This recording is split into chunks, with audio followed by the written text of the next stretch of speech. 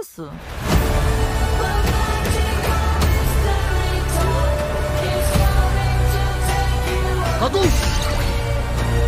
O que puder sonhar aqui, você pode fazer.